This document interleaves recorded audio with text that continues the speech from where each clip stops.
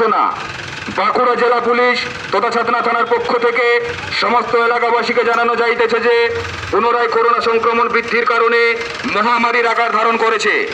এই অবস্থায় সমস্ত ব্যবসায়ীগণকে অবগত করা হইতেছে যে, মাস্ক ব্যতীত কোনো ব্যক্তিকে কোনো দ্রব্য বিক্রয় করা যাইবে না। ইহা অমান্য করিলে আইনানুগ ব্যবস্থা নেওয়া হইবে।